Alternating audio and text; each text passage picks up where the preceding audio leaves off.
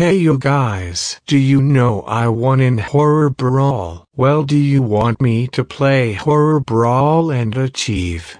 Let me know in the comments then I will achieve again.